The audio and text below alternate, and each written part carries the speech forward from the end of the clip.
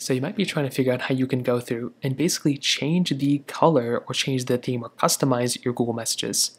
Now, it's a pretty basic process, but it really depends on whether or not you have this feature, you know, capable on your phone. It's going out and rolling out in a rolling basis. So it may not be available for your phone just yet, but I'll show you at the end a way to go and fix it if it's for some reason not showing up for you, like it's not showing up for me. So the actual instructions to basically do it are these following instructions. I'll demonstrate them after. So what you're going to want to do is you want to make your way over to your Google Messages application. You then want to go and select a chat that you want to change the theme of. You want to tap on the More button that's in the top right corner, and there should be a little option that says Change Colors. So from there, you can go and basically choose the different colors that you want. Now you can also, if you're, you can tap on the contact name, and you can also go and click on Change Colors, or you can click on the group chat name, tap on group name, and then change the colors that way, and you should be able to change the colors that way.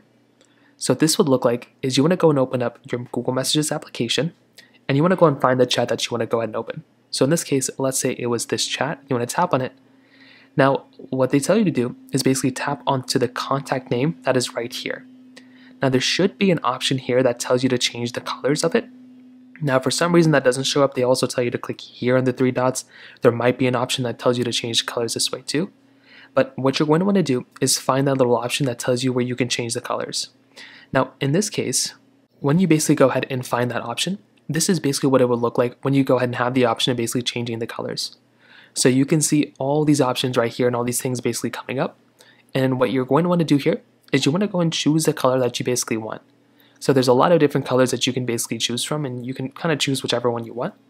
And whenever you're ready, what you can do is you can go and click on the confirm button that's in the bottom.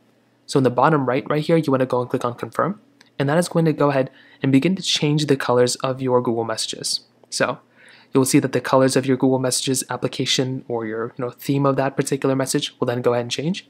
And that's pretty much all you're going to have to do. So it really is that basic. It just takes a few moments, and that's basically how it's done for the most part. If you have any other thoughts or questions, please let me know in the comment section below. Hit the like button, that would mean so much, but definitely hit that subscribe button. More importantly than everything else, I love every single one of you guys. Hopefully I'll catch you guys in the next video. Peace out till then.